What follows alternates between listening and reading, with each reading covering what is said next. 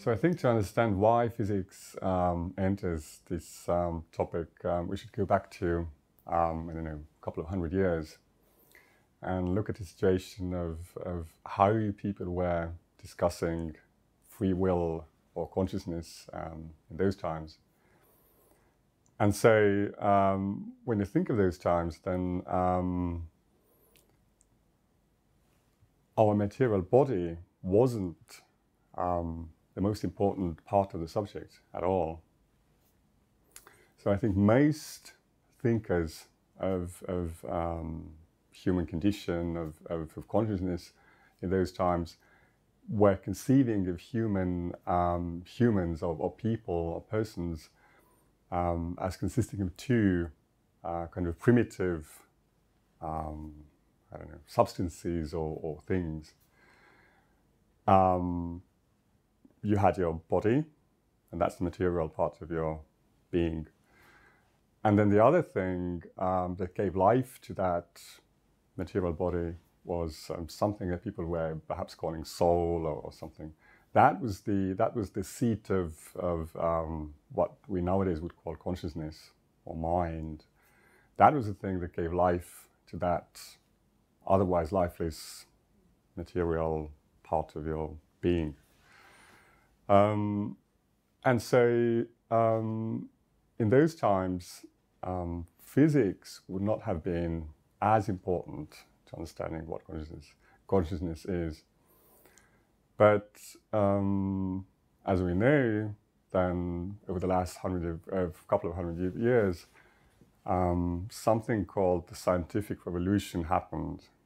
And so the paradigm of, of how we conceive of human beings has shifted considerably. So nowadays, um, I think most researchers would think of um, humans um, in terms of their um, material bodies. So matter is the primary source of, of consciousness um, and basically everything. So this is why, and, and what is the best way to study matter? That's physics.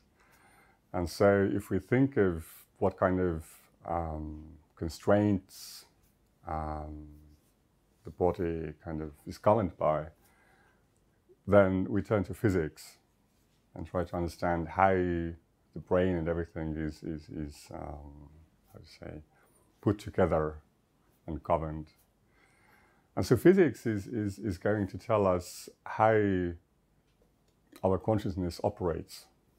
So that's why we nowadays perhaps um, think physics as, as, as being um, one of the most important sources of, of, of, how to understand consciousness and free will, because free will is, is linked to consciousness, um, um I don't know, inextricably.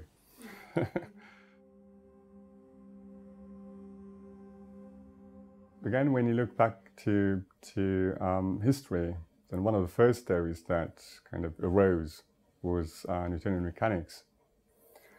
And um, it became immensely powerful. It became so powerful that, for instance, I think Immanuel Kant, the philosopher, actually thought that this is the ultimate theory of, of um, the universe, of physics and integrated it into his philosophy. He said, I think he said something like, um, "The structure of space is given by Newtonian theory." Um, so, and when you think in when you think of, um, of physics in these sense, then um, people started to um, kind of um, apply mechanics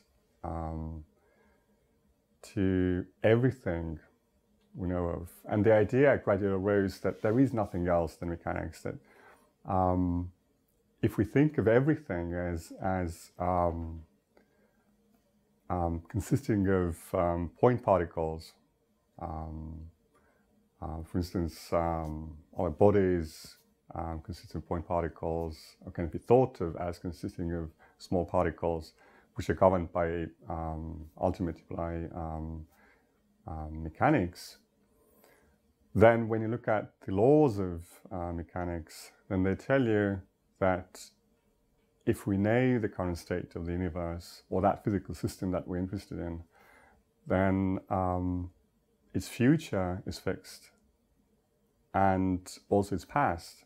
So this is a very, this is an example of a very strong notion of determinism.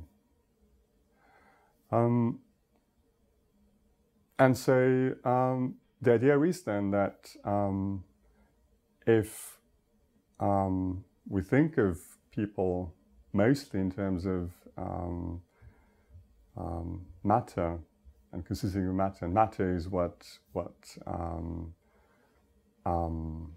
is our consciousness. Then, in order to find out what is free will, what is consciousness, what is free will, we have to um, rely on laws of physics. And if mechanics gives us laws of physics, then um, and if mechanics is de deterministic, then everything we did um, or everything that we will do is actually determined by those laws. And so um, at, at the end of the day, there's nothing called free will, actually.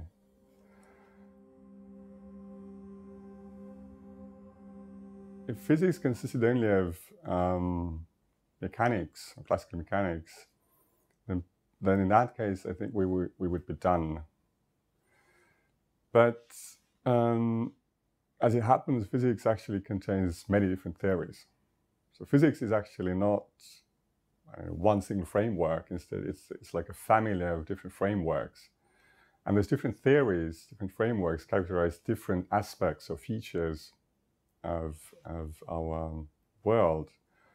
Um, so classical mechanics is the theory of billiard, billiard balls, um, chairs and tables, and if you want to build a bridge, then you definitely have to use classical mechanics. So classical mechanics is a hugely useful theory, um, and it's used all over the place nowadays um, to build various things that we actually can touch. But um, there are more things in the world. For instance, um, there is electricity and magnetism, um, light, and mechanics is not able to, to describe what happens with light, for instance. So at the end of the 19th century, um, a different theory arose, which is called electromagnetism. And that theory was created to describe how um, electrical, magnetical um, phenomena um, behave in the world. Um, but then gradually, uh, people started to realize that um, that um, matter indeed consists of small things, um, and initially they were thought of as being small billiard balls, you know, the small balls that um, um, collide and, and just uh, move fast um, through space. But um, mechanics, it, it, turns out mechanics alone is not able to describe those, those small uh, constituents of matter. And even more, that um, electromagnetism is not able to describe those small constituents of matter. So at the beginning of the 20th century, then um, two or three theories um, arose which uh, we think nowadays as describing the most fundamental features of the universe. And those theories are, um, first and foremost, quantum theory, and then relativity theory in its different forms, special relativity and, and general relativity.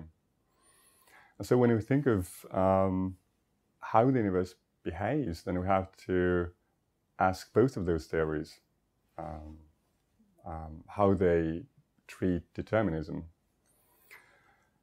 And so it turns out that, for instance, when we take quantum mechanics or quantum theory in general, then um, on the one hand, quantum theory is as deterministic as classical mechanics. So the, so the main equation of the Schrödinger equation of, or in different guises, the dynamics of quantum theory is as deterministic as the dynamics of classical mechanics.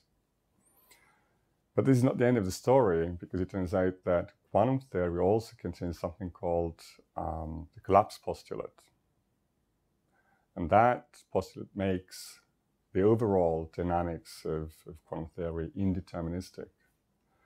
So, so the picture is that although a lot of time when quantum systems evolve and um, when you describe quantum systems, then they behave as deterministically like classical mechanics. But then once every once in a while, you get this indeterministic evolution. And so um, at the end of the day, quantum theory says that the world is not deterministic. Um, now, quantum theory is actually plagued by, by something called the interpretation problem, which um, is basically um, a way to deal with um, the collapse postulate. And so it turns out that in order to put flesh on the mathematical framework of quantum mechanics or quantum theory in general, you have to also interpret the theory. And now it turns out that some interpretations of quantum theory um, tell that the world is indeterministic, while others actually say that the world is deterministic. So the overall message you get from physics is that some of the theories tell that the world is deterministic, while others tell it tell that the world is indeterministic. And so there is no one clean and neat answer um, from physics about whether the world is deterministic or indeterministic.